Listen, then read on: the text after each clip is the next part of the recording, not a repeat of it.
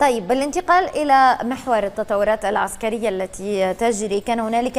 آه، اندماج ما بين فصيلين آه، وأيضا كان هنالك آه، استهداف يعني عملية صراحة غريبة من نوعها استهداف داخل مدينة حلب لضباط إيرانيين وأيضا ضباط النظام في أي سياق أتت هذه العملية؟ نعم بداية فيما يتعلق باندماج لواء التوحيد العامل في مدينة حلب الذي نعم. تكون خلال الشهر الماضي من عدة فصائل عسكرية عادت لرفع علم لواء التوحيد ثم اندمجت في آه، ضمن فصيل حركة نور الدين الزنكي اندماجا كاملا آه، يأتي هذا الاندماج حسب البيان الذي تم إعلانه آه، في سعي الفصائل العسكرية الموجودة في مدينة حلب إلى ترتيب صفوفها وتوحيد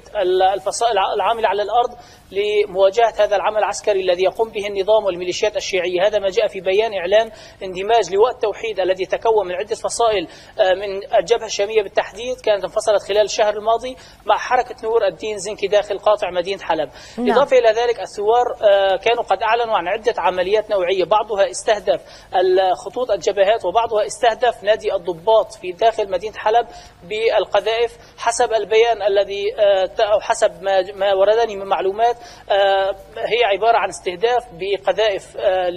لنادي الضباط أثناء اجتماع وجود عدد من الضباط الإيرانيين داخل مدينة حلب نعم. ما أدى إلى وجود خسائر وحقيقة لم يتثنى لي التأكد من آه، هذه الخسائر أو طبيعة العناصر أو حتى آه، كيفية الاستهداف نعم. هذا فيما يتعلق بالعمليات النوعية لكن المعارك ما زالت مستمرة وتطورات ما زالت مستمرة بين الثوار وقوات النظام البارحة كان هناك هجوم لقوات النظام على جبهات حلب القديمة تحديدا آه، جبهة ميسلون تمكن الثوار من التصدي لمحاولة التقدم على هذا المحور بالتحديد الذي يقع إلى وسط مدينة حلب وتمكنوا من قتل خمسة عناصر إضافة إلى ذلك تمكن الثوار من التصدي لمحاولة قوات النظام التقدم على محور عزيزة وهو محور ملاصق لمحور نعم. الشيخ سعيد يقع إلى جنوب غرب حلب بالتحديد وتمكنوا أيضا من قتل سبعة عناصر وتمكنوا من التصدي لمحاولة قوات النظام التقدم على محور البريج آه، وعلى على محور آه، منطقة آه، الجندول بالتحديد نعم. وتمكنوا أيضا من تكبير قوات النظام بعض الخسائر هذا فيما يتعلق بالمعارك بين الثوار وقوات النظام نعم. في مدينة